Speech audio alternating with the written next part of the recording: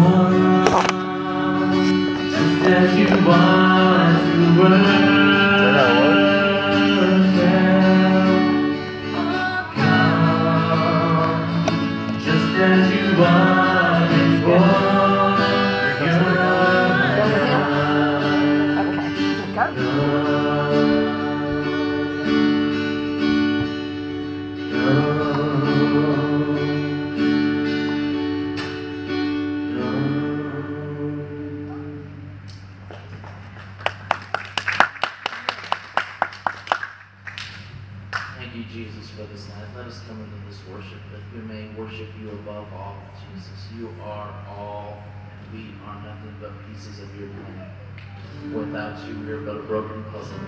Put together.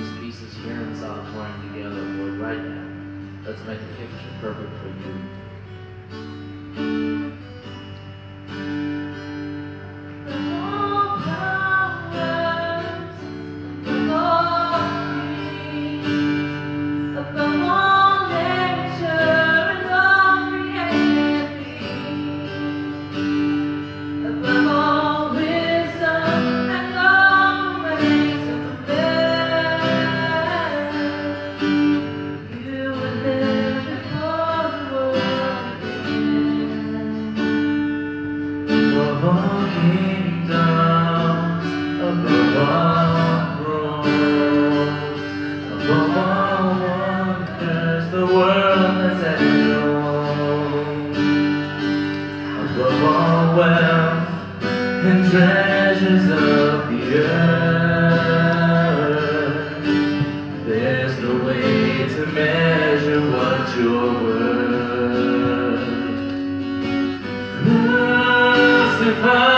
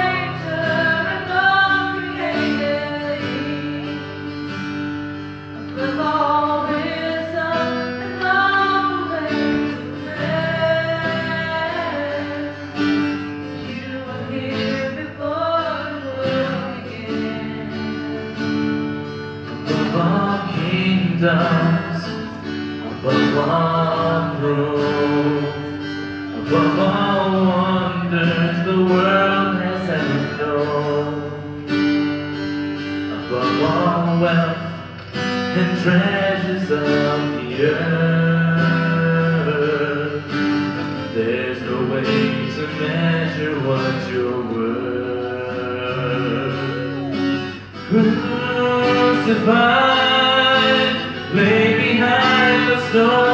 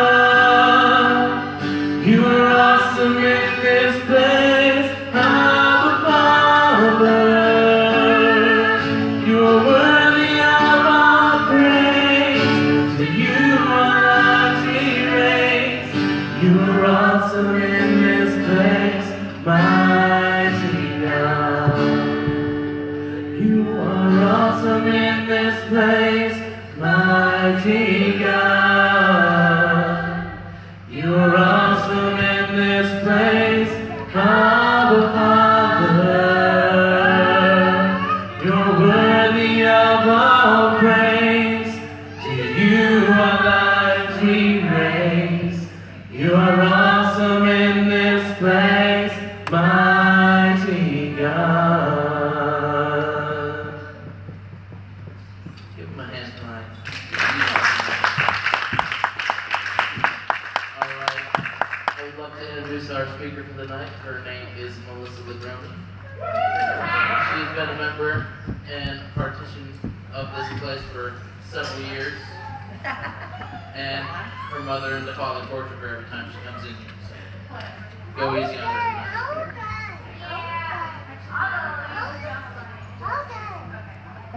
You can have it.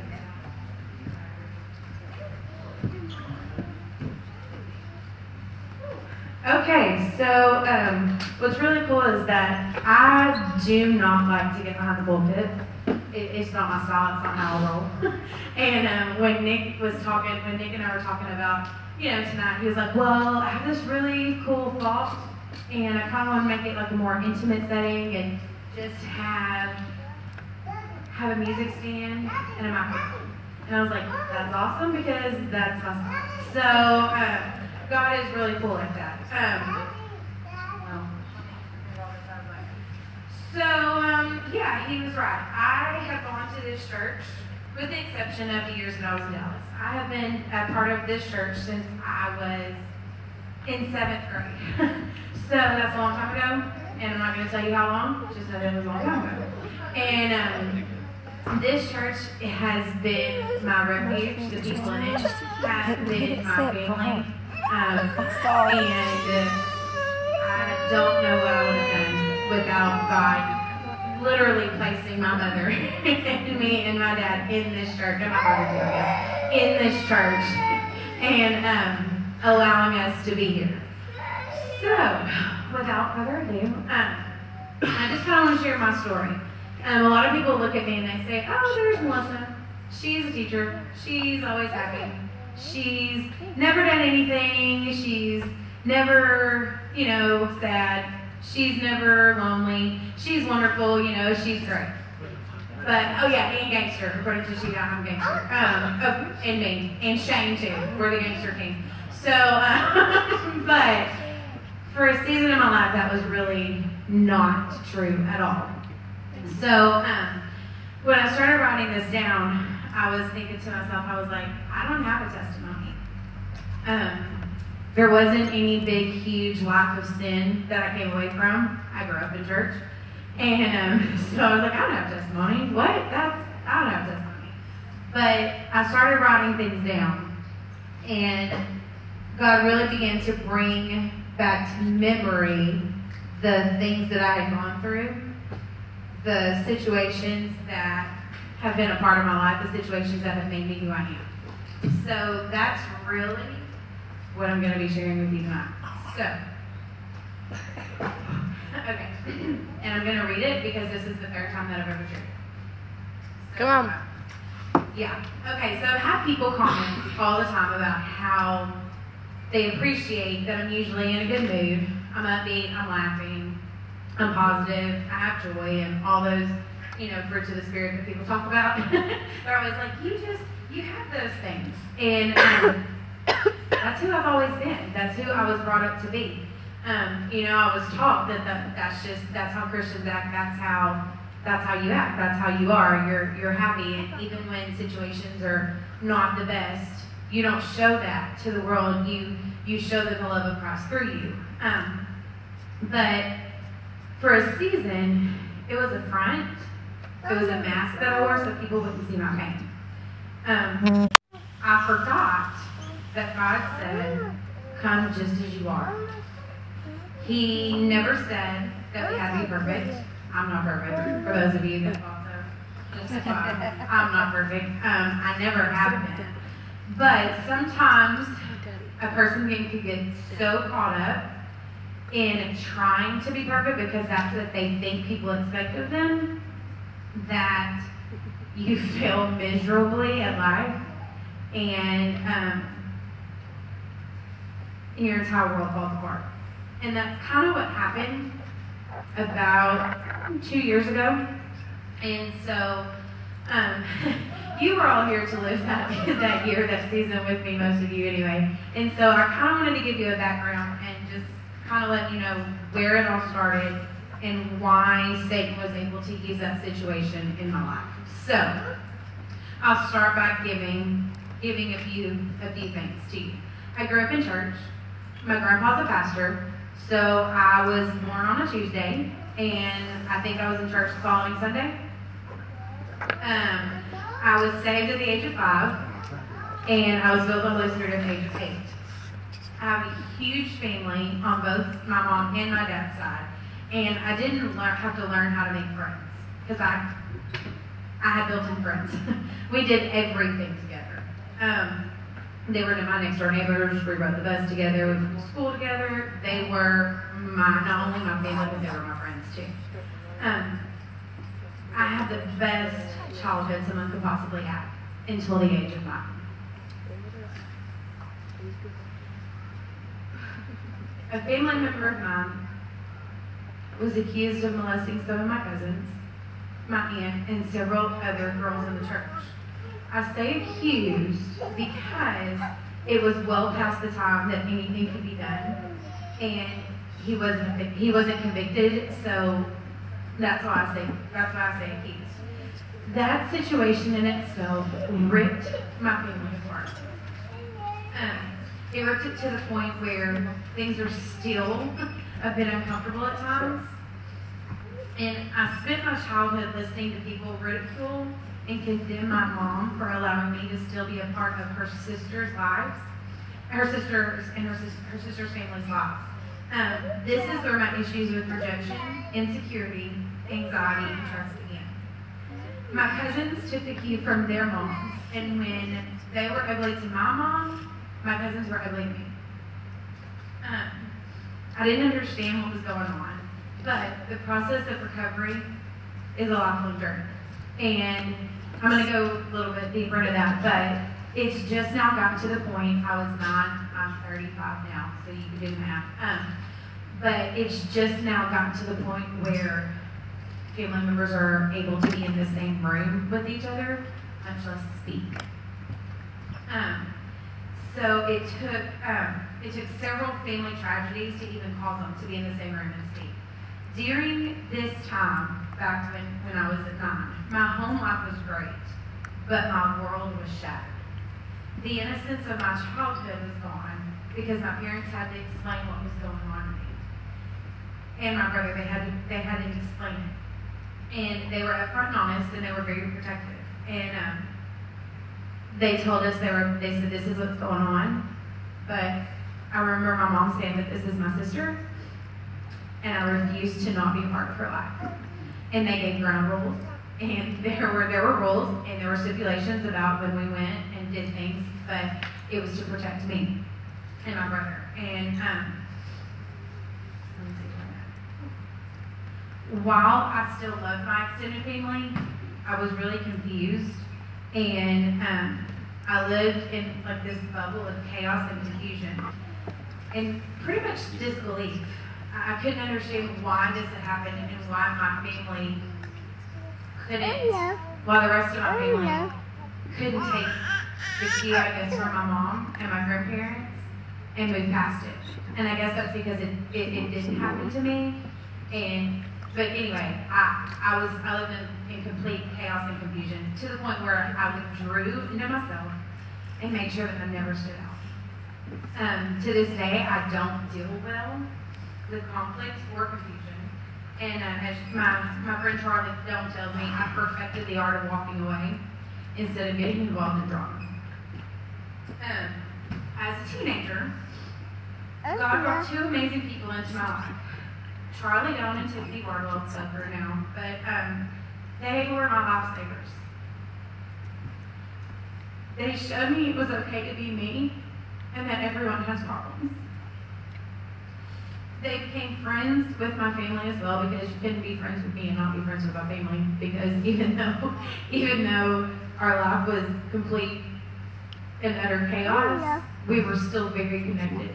And so if you were my friend, you were their friend too. That's just how it worked. Um, so, but through that, through their friendship with my family, it allowed me to work through some of the issues I had with my cousins and how they treated me when we were younger. Um, me and Tiffany and Charlie were practically glued together at the hip, and we lived through each other's pain. Each one of us had different situations in our lives that were horrible and no one should ever have to live through. And uh, we lived through that pain together. We were support. We were each other's support system. And uh, to this day, we're still really good friends. I actually texted both of them tonight. I was like, "Please pray for me because I'm going way, way back with my testimony." And they both were like, "You got this. You can do this." So anyway, um, I contemplated suicide several times during my teenage years. But to be honest, I would have never gone through with it. Um, there were two main reasons I didn't. One, I knew I would go to hell for murdering myself. And two, I mean, I'm just being for real. Um, and two, I went to a crusade where I was able to talk to someone who didn't know my family or me. Um, they helped me reaffirm my walk with Christ. And later that summer at camp, God called me to a life of missions. I knew I was going to live overseas, not have to deal with my family drama. I was super excited. Um, during this time, God gave me a verse that has stayed with me, and anytime I feel overwhelmed or like things are out of control, I remember Psalm 46:10. It says, "Be still and know that I am God. I will be exalted among the nations. I will be exalted among the nations. I will be exalted on earth." This verse reminds me that I serve a big God who can calm any storm, even if I created it. So, this call to life of missions led me to Southwestern Assemblies of God University in 2001. Um, I lived in a Jesus bubble 24 7. I'm not kidding. It was a four year span of constant prayer, discipleship, missions training, devotionals, chapel, any kind of Bible related activity, Christian related activity. I was surrounded in that bubble. Um, there, they taught me how to serve, they taught us how to pray, how to worship, how to live a daily life with Christ. And um, it was a time in my life where God gave me a break from all the chaos and drama and allowed me to come out of my shell. Um, I made some amazing friends, and I was able to go closer to Him. I also had a lot of first experiences while I was there. Three of those experiences changed my life. One reaffirmed the anxiety and the trust issues that I had. But the other two were really preparation for the life of ministry that God was calling me to. Um, okay, so my first year at Southwestern, I met I met this guy who uh, completely broke my heart. His name was Ryan, and he was very good at concealing his identity. He seemed like a decent guy, and even though he had been in the Teen Challenge program, I liked him. I didn't I didn't find anything wrong with that. I was like, well, everybody has past, whatever. And um, he was a huge flirt, and it felt good to have someone like me. Over the first year at Southwestern, he led me to believe that he wanted to be in a relationship. I think he been married. He mentioned marriage once, which kind of weirded me out, but whatever. Um, but when we came back, yeah, when we came back from Christmas break, um, I found out he had a girlfriend back home who he had recently proposed to. And the funny thing is, I didn't hear it from anybody. I just knew. Um, I think God was preparing my heart for a huge hit. And yes, it hurt that he had lied to me and misled me. And those lies caused all that junk to resurface. But it didn't destroy me. Um, he left school at the end of that year to go home and get married. And um, anytime somebody brought it up, I kind of laughed it off, laughed it off, made fun of it, and I was like, yeah, well, you know, laughed it off, It's not a big deal. But I didn't forgive him, and I didn't forget. It was still something that bothered me a lot, and um, Mommy. you know, anyway, my senior year, he came back to Southwestern and was once again a member of Teen Challenge. And um, well, I'm not gonna bust him out out this stuff out there.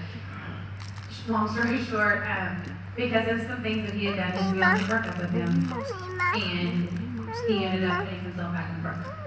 And so through that last year at Southwestern, I really was able to forgive him, and um, he apologized, and you know things I was able to forgive and forget and move past it, and that was probably there were other things that happened, um, like he tried to stalk me, but whatever. Um, God, um, God allowed that situation and that restoration to give me hope again, and to make me realize that just because people make mistakes doesn't mean that they're bad people. They just make mistakes. So, um, God used it to make me a stronger person. And um, my second year at Southwestern, I experienced my first grief, grief counseling situation. I was a resident assistant, and um, what that is is it's one person that lives on a hall of about 40 plus people or college students. And um, I had about 40 freshmen and sophomore girls who lived on my hall. Um, I loved them, and they loved me. We lived life together, and we were really close. Um, but I remember being woken up in the middle of the night by my dorm pastor telling me that I needed to come to her apartment and um, that she needed to talk to me. I mean, it freaked me out because it's middle of the night and I, I, uh, God's given me that spirit of discernment. I knew something was wrong, and so I was really, really freaked out. But my mom had come to visit that weekend, and because I was a because I was an RA, I had a room to myself. So my mom was asleep on the bottom bunk, and I don't know if she even remembers me being woken up or anything, but she was there, and I can tell you that that was a God thing. Because if my mom had not been there, I don't think I would have been able to handle it. Um, so um, I knew something was wrong, but I was woken up to hear that one of my girls had been killed in a car wreck.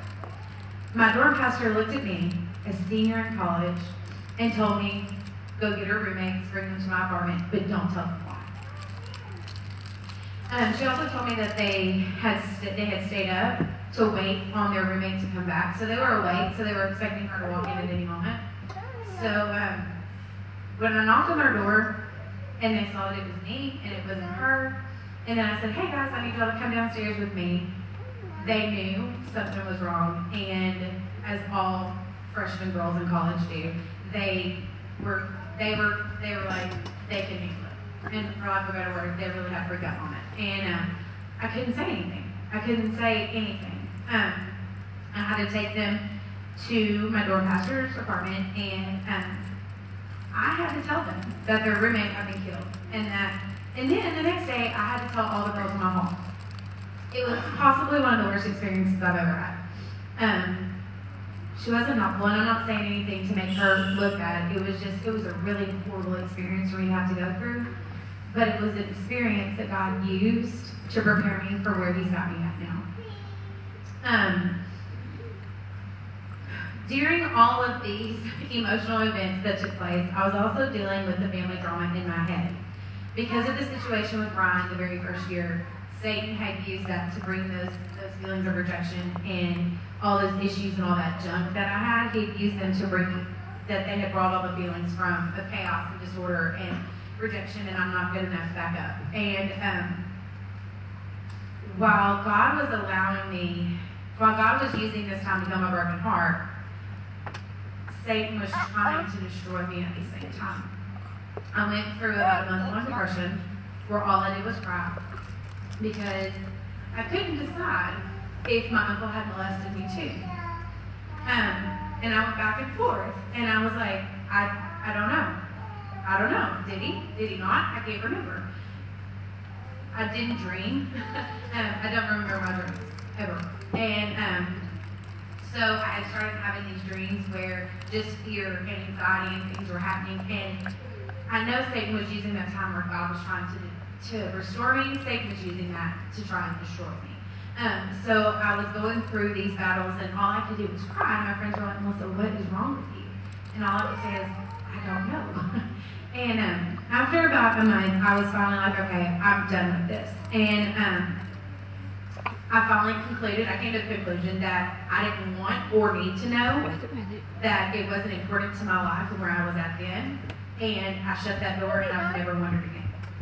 And um, God closed that door of confusion. And I've completely forgiven my uncle. I've forgiven my family members for everything that's happened during that time.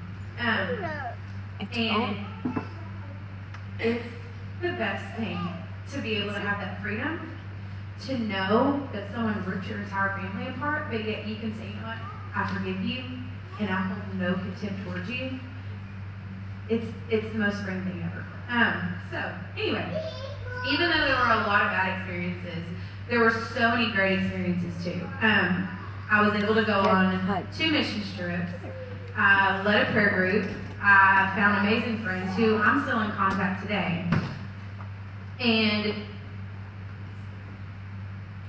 I really feel that my time at Southwestern was a time of healing and a time of processing and a time of preparation. All of those experiences allowed God to open my eyes to the hurts and needs in my own life, but also the hurts and needs of others. Um, the one mission trip, the very first mission trip that I went on, I went to Hungary. And no, I went to Romania, sorry. And um, anybody who grows up in a small town unless you go outside of that small town, you don't realize how sheltered you are. No matter what you go through, you're in Texas, you don't realize how sheltered and how blessed you are to live in America. Um, the one distinct thing that stood out to me that really changed my perspective on life was we had just gotten back from visiting a, I think, a, a, an abandoned baby hospital, which is really a hospital where moms have their babies and then they get up and they leave. They don't sign a birth certificate. They don't do anything. They just get up and leave, which means that those babies can't be adopted. So the nurses take them down to the basement, and during their off times, during their shift changes, their breaks, whatever, they go down and they play with them and they feed them and they do things, but severe neglect. And so, um, like I remember we were, you know, we were down there, we were hugging the babies and we were holding them, and they told us, be very careful with this one because he's never, he's never help. Every time someone tries to touch him, he cries because it hurts. Because he doesn't understand. He doesn't understand the feelings. He doesn't understand that it's a comforting touch. He just feels that. He feels that and it hurts him. So we had just gotten back from this experience and we're all a little emotional. And um, our missionaries are telling us that we're walking past the sewer. And she's like, hey, by the way, um, there are people that live down here. And um, me, little Melissa from Carthage, was like, "What? There are people that live like in the sewer." And and so she was telling us a story that about how the leader of the sewer gang, because I mean, I guess that's what they call them, but the leader had come to her and said, hey, whenever this, your next group comes, I want them to come down to the sewer and visit us. So, we went down into the sewer. And I remember the little manhole thing was open and everybody was going down. And as every single person was going down, the anxiety was rising up and up and up until I couldn't do anything but cry. Because I realized how spoiled I was. And I realized all the privileges that I have because I'm not only because I'm American, but because I, well, yeah, because I'm American, but all the privileges I have because I don't have to live in a sewer. And that experience right there confirmed and reaffirmed that God had called me to a mission field. Now, I was still expecting that I was going to go live overseas because that's what I wanted to do. And I was like, okay. So when I got back to Texas, I was like, yes, I'm going to go overseas. I'm going to teach and for three years because in Texas you can't be a school counselor unless you teach for three years. And so I was like, I'm going to teach for three years. I'm going to live overseas, and I'm not going to have to be around the drama of my family anymore. This is awesome. Let's do this. And God said, um, yeah, let's wait. So, um, I never really wanted to be a teacher, but like I said, in Texas you have to teach for at least three years in order to be a school counselor. So, my plan was to teach for three years, possibly overseas, get my master's, get married, have kids, and become a school counselor. I was ready to start all that. Um, however, I ended up getting a job right after graduation teaching kindergarten, and I fell in love with it. I taught in Waxahachie for seven years and always thought about school counseling, but I never did anything about it. I loved the life that I had built. I was comfortable. I had friends. I attended a great church. I had a job that I absolutely adored. I had space for my family. I could love them while keeping in my distance because they couldn't hurt me if I wasn't around. I thought I was living the life I was supposed to live. However, God started preparing me to move home. It started with a bad roommate situation, which caused panic attacks and the depression and the rejection issues to resurface, which, and these issues led to problems at work, which ended up with me in counseling and taking anxiety medication. Um, this series of events led me to a great small group where I was able to really begin dealing with all the drama from my childhood and begin the healing process. For the first time in my life, I opened up and shared about my past with my mom and the people in my small group, and they were supportive. My mask started to come down, and God said, Go home. And I said no. um, I argued with him, which only made me miserable. I started having issues with my money. I started to get really homesick, which was crazy because even though I had been away from home for 12 years, I had never been homesick. I loved living in Waxahachie. But I got homesick. And I got really depressed. So while I was pitching my fit and was angry with him for a few months, I eventually sucked it up. I quit my job and moved home. Now, for a teacher to just quit your job without having another job lined up is possibly the dumbest thing to do ever. Because you sign your contract at the end of the school year. So if you quit your job at the end of the school year and you don't have another contract signed, you don't have a job. So it's kind of a it's kind of a let's see what's happening here. So I was like, okay, I'm gonna try that. And I did. I quit my job without having another one at home and I packed my bags and I moved. Um, so um, I knew that God had a plan and a purpose for our life, even though I wasn't really happy that He was making me come back home. So I moved home in May of 2011, and it has been by far the hardest, but most rewarding season of my life. Um, at the age of 31, yeah, at the age of 31, I moved back with my parents. And uh, I began, yep, and I began a long-term sub position, and um, where basically I was teaching someone else's class for them. And um, then at Christmas time, that teacher came back, and the school was like, hey, we have this position, it's an aides position, doesn't really pay a whole lot, but do you want it? And I said, yes, please, because I knew I needed a job. so, um, because I was, a, I was an instructional aider, or a paraprofessional, I, um, I had a lot of free time. So I started working on my master's degree in school counseling. And um, the next school year, I got a job at Carthage, and once again, I thought I was good to go. I was able to live in the same city with my family, and I was able to see firsthand how the healing that was taking place amongst them. I was happy. I didn't have any friends yet, and because Charlie had moved back, I started going to the 418, which is the ministry at the college, with her, and really the reason I started to go was because I knew I needed to be in church more. I knew I needed to have, because I was home, and those feelings of rejection and depression easily pulled up inside. I knew I needed to be one in God's presence more than studying lines and Wednesday nights. And so I started going to 418, which eventually led to me going to the Awakening, which was on Friday nights. And um, I was in leadership there, and even though our doctrinal beliefs weren't exactly the same, I thought I was okay. And I was like, all right, I got this. I'm strong enough. I can do this. So, uh, I'm smiling at work. anyway, um, so, uh, yeah. So, um, where was I? Okay, so then I met someone. And I, you know that word smitten, how it's kind of a weird word? I was. I was smitten. Um, which is completely ridiculous, by the way. But anyway, um, I, like, you never really understand that he had me from hello until that situation happens to you, and you're like, oh, I get it now. Like, the minute we met, we hit it off.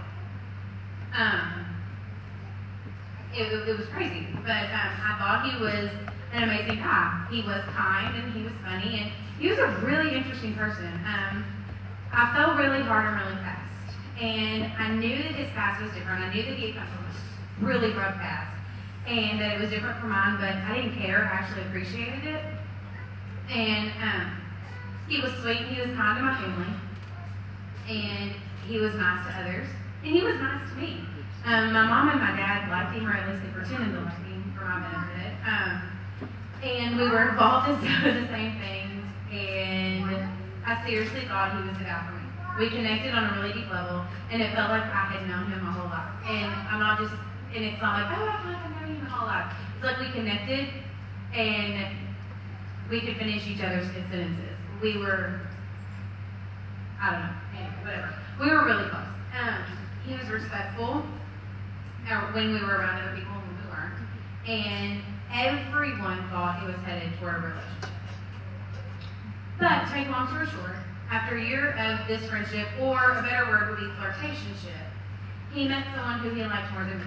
And um, within a two-week time span, we were no longer friends.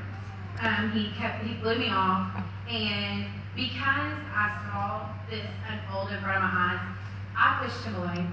I pushed everyone away, and I, I'm done. You know, I pushed everyone away, including my friends at church. And so, yeah, I um, withdrew back into myself, and I had to get back on anxiety medication. Uh, and literally withdrew from my family and my friends and went into a very, very deep depression, and I completely lost myself. Um, while all of this was going on, I started to have problems at work. I know Satan was using specific people at my job to push me down even further into that depressive state, and it worked for about a year. I lost my confidence. I began having panic attacks again. And not only did I let my students down, but I let myself down. And um, I really think I let God down too. Um, because for me, teaching is not just a job, it's a calling. Um, that's the mission field that God's called me to. and um, actually, school counseling, being a school counselor, is that. But teaching was part of the process. And so, with all that being said,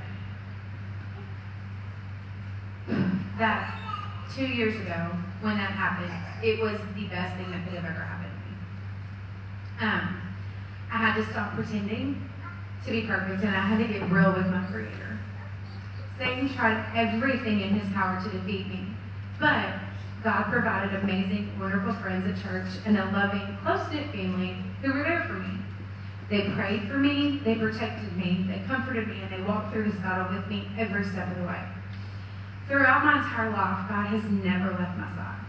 He has been my constant companion, comforter, refuge provider, and most of all, my strength. It took a little over a year for my heart to heal and for me to stand up and fight back against the fiery arrows of doubt and despair Satan had been throwing at me.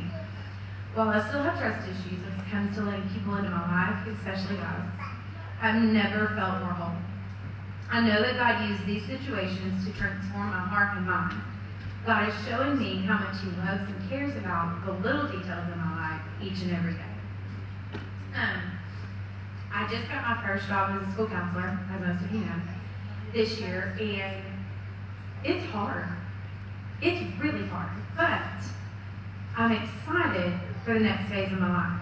I'm not expecting it to be easy, but I am expecting and trusting God to continue to walk this crazy life journey with me.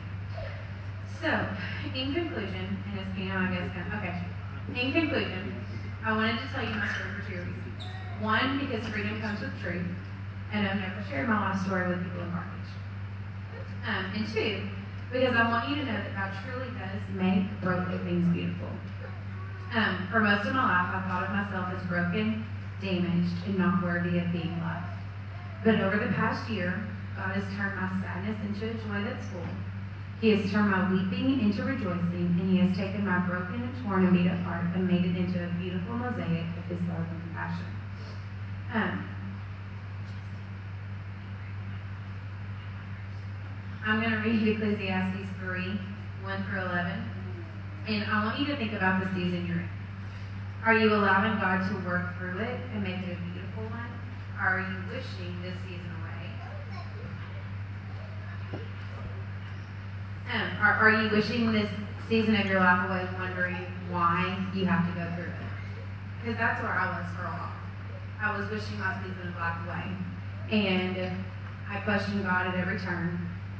And even though I knew that it was a process that I had to go through, I was always saying, I don't want to, I don't want to live this life. I don't want to be here. I don't want to do this. So while Pam's getting her guitar, I'm going to go ahead and read this. Okay. So it says, there's a time for everything, and a season for every activity under the heavens. A time to be born and a time to die. A time to plant and a time to uproot. A time to kill and a time to heal. A time to tear down and a time to build up. A time to weep and a time to laugh. A time to mourn and a time to dance. A time to scatter stones and a time to gather them. A time to embrace and a time to refrain from embracing. A time to search and a time to give up. A time to keep and a time to throw away. A time to tear and a time to mend. A time to be silent and a time to speak. A time to love and a time to hate. And a time for war and a time for peace. What do workers gain from their toil? I have seen the burden God has laid on the human race.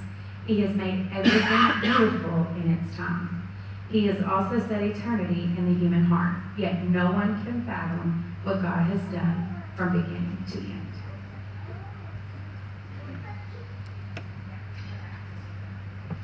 So, this song, ever since I heard it a couple of years ago, I have fallen in love. And the last time I sang it was in foreign country with um, someone who did not speak English. So they played the piano and I sang. It was very interesting. You would like to see the video, Jordyn has it, I think. Um, awesome. So, um, yeah.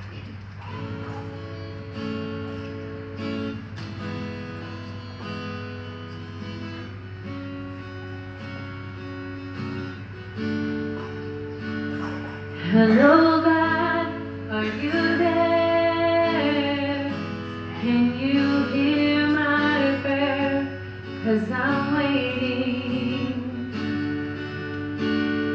Hello, God, are you here? Can you see my tears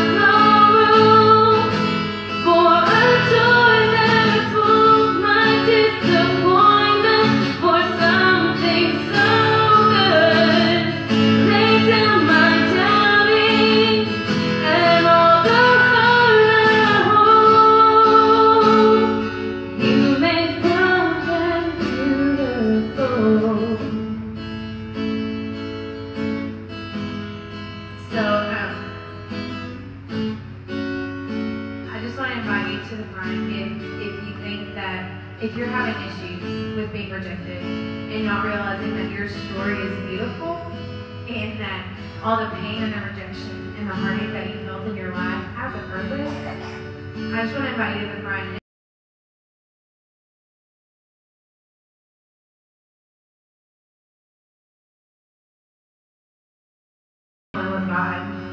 and get real with your creator. Because sometimes that's what it takes to realize that he'll turn it all around.